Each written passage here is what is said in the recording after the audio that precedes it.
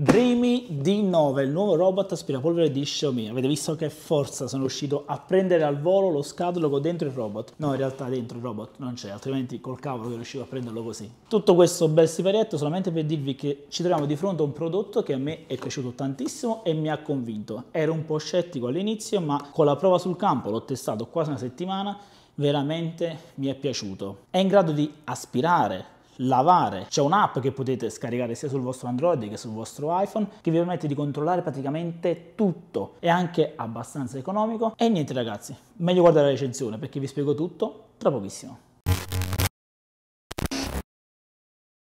Vediamo l'applicazione dove si può gestire tutto il nostro robot. Innanzitutto l'app è la classica di Xiaomi Home. Infatti potete osservare io anche altri già dispositivi collegati come il monopattino e qui ho collegato il robot. E la prima cosa che viene mostrata è la mappa, questa è la mappa dell'ufficio e l'ultimo percorso che lui ha effettuato qui è dove si trova attualmente la base e il robot è in fase di carica e qui trovate già alcune informazioni sull'area di pulizia e il tempo di pulizia. Potete gestire più mappe da questo pulsante, utile se avete una casa con più piani. E sempre da qui con questo pulsante invece potete creare delle barriere virtuali. A cosa servono? Beh, servono banalmente a non far andare il robot da qualche parte, ad esempio potete creare un muro, impostare il muro dove volete o banalmente scegliere un'area dove è vietata la pulizia del robot. Stessa cosa anche per il lavaggio, quindi in questo caso vi faccio vedere, qui non andrebbe a lavare, qui non andrebbe ad aspirare. Per rimuovere basta premere su e poi toccare la X come in questo caso.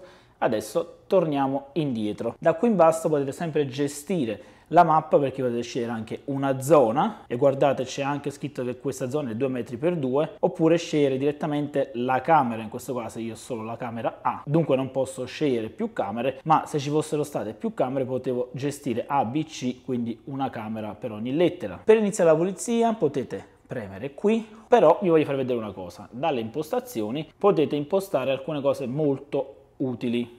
Innanzitutto vi consiglio di andare in voce e volume perché qui potete scegliere la lingua italiana, il robot vi parlerà in italiano. Questo è molto utile, riprendi pulizia perché se avete una casa molto grande e il robot non ce la fa con una sola aspirazione, o meglio con un solo ciclo di carica, ad aspirare e pulire tutto, allora cosa farà? Ritornerà alla base, si ricaricherà e poi riprenderà la pulizia dal punto in cui ha interrotto. Qui potete scegliere invece il livello dell'acqua, Qui la modalità di pulizia che sono silenzioso standard alta potenza o turbo, io vi consiglio standard va più che bene. La cronologia delle pulizie vi fa vedere ogni giorno la pulizia come è andata, se è andata a buon fine, cosa è successo. Se per qualche motivo non trovate il vostro robot premete qui. Avete sentito? Lui parlerà per farvi capire dove si trova. Ma la cosa più interessante è questa pulizia programmata perché ad esempio io ho programmato che tutto deve essere pulito ogni giorno alle ore 21. Ecco qua, qui c'è la ripetizione, si sceglie appunto quale giorno, quali giorni. Possiamo scegliere anche appunto la modalità di pulizia e impostare il livello dell'acqua. Da qui potete dare anche un nome al vostro robot, io ho lasciato quello di base che è il Dreamy Robot D9.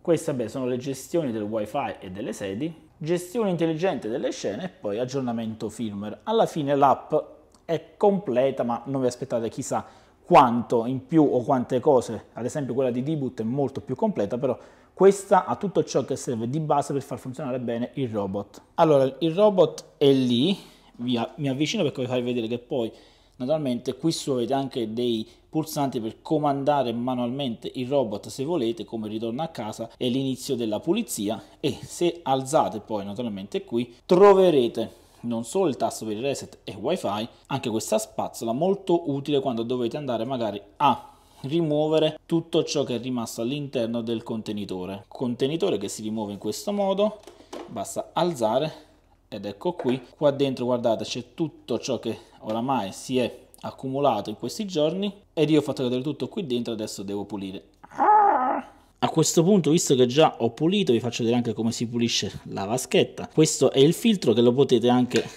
naturalmente staccare in questo modo. Potete anche lavarlo e sciacquatelo. Mi raccomando deve essere bello asciutto prima che lo rimettete a posto. Qui invece, premendo così, guardate si apre appunto il contenitore per svuotare tutto. Riponete poi tutto all'interno, chiudete, adesso vi faccio vedere come funziona. Ok, adesso iniziamo a dare il comando per la pulizia.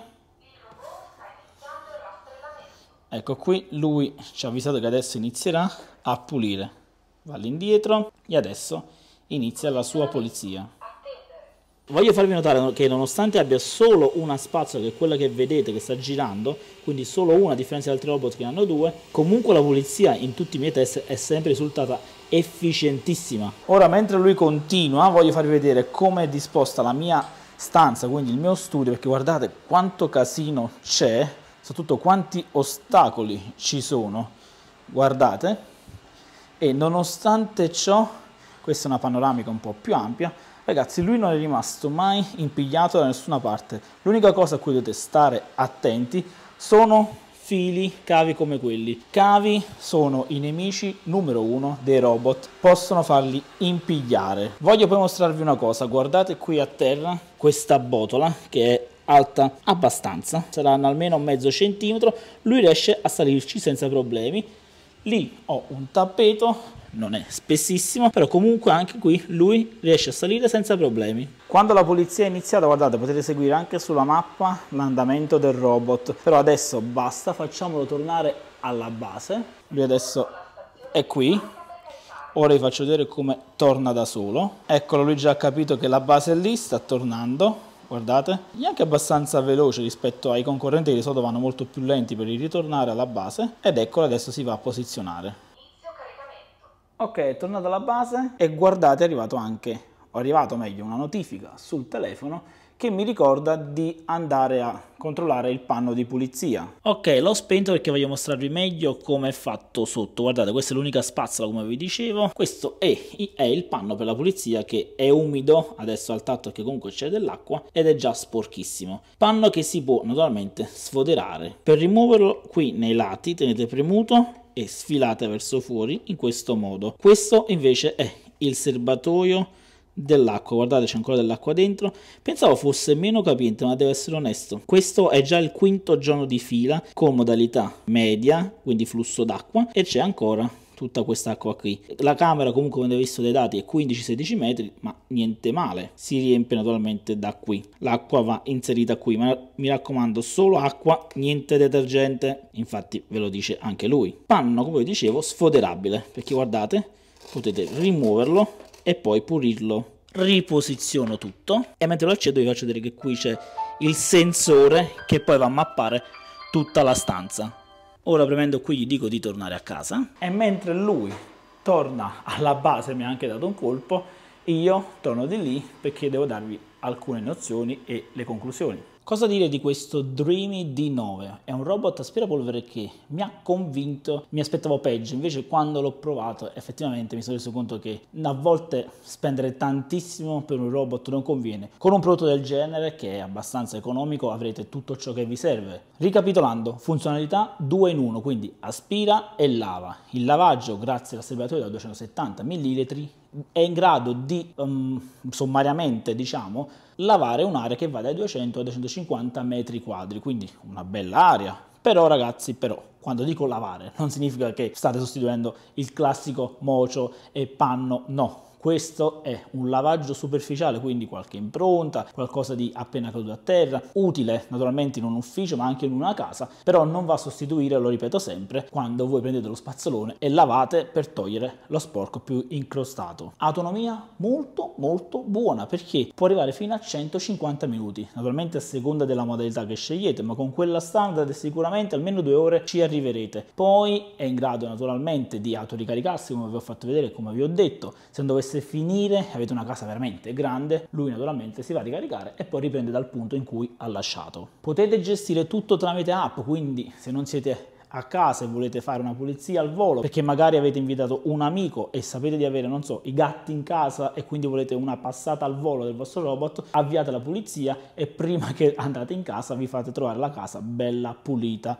almeno per quanto riguarda i peli. Lo dico perché molti mi chiedono sempre come si comporta con i peli di animali. Io qui l'ho provato in ufficio, ma a casa ho un robot e ho animali, cani e gatti e non ho mai avuto nessun tipo di problema. Naturalmente è importantissima la manutenzione perché dovete andare a rimuovere sempre i peli che spesso possono finire anche nel rullo ma anche nelle rotelle, quindi i peli sì, vengono, eh, vengono rimossi e quindi aspirati, ma attenzione alla manutenzione. Come vi dicevo, è un prodotto che mi ha sorpreso perché io ho provato anche tantissimi robot aspirapolvere, anche più blasonati, ed effettivamente costano anche 200-300 euro in più di questo, ma questo per 250 euro perché adesso ha un prezzo che oscilla intorno ai 250 a 300 euro. Al listino è 3,29, ma non lo trovate mai a 3,29, costa sempre 40-50 euro in meno. Attualmente con una promo Amazon e con un codice sconto che trovate qui sotto in descrizione risparmierete 60 euro e lo porterete a casa per 240. Per me lo rendono il robot aspirapolvere, due in uno, più economico ma soprattutto più affidabile che ci sia, quindi è economico, è affidabile e secondo me sotto i 200 euro non conviene mai comprare un robot aspirapolvere perché state comprando un giocattolo. Dai 250-300 euro iniziamo a trovare qualcosa di interessante e affidabile, ma tra tutti quelli che ho provato in questa fascia di prezzo, lui è quello che mi ha convinto di più. Dunque ragazzi, vi lascio il link qui sotto in descrizione, ma voi se avete dubbi o domande basta un commento e io vi risponderò. Noi ci vediamo al prossimo video.